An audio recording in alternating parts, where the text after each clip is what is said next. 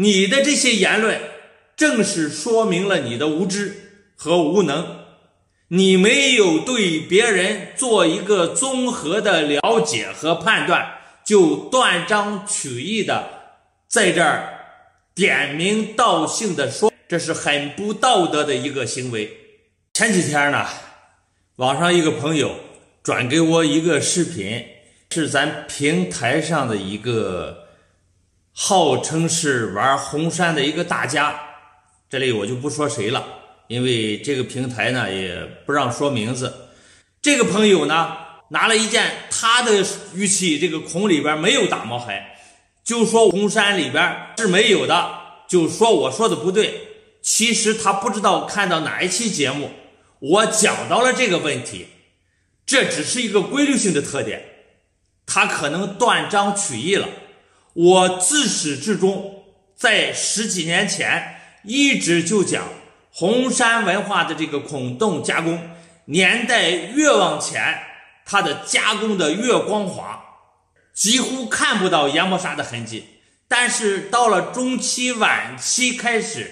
慢慢的由于这个工具先进了，它加上研磨砂，出现了一些研磨砂的加工痕，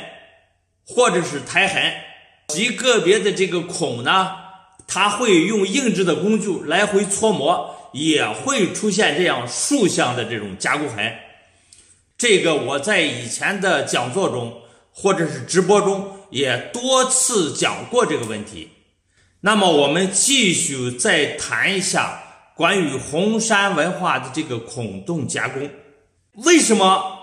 它会出现这个情况呢？就是由于当时的生产力水平不行，所以说这个孔里边。看不见研磨砂的痕迹，表面也是如此。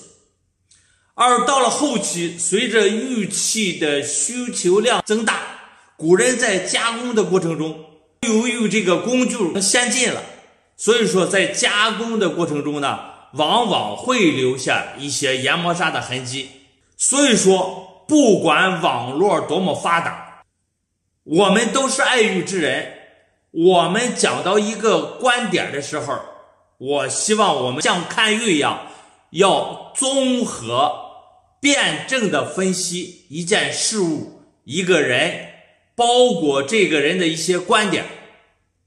这才是每一个玩玉人应该有的一个品德，而不是在网上踩着别人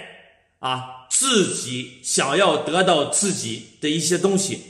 你的这些言论，正是说明了你的无知和无能。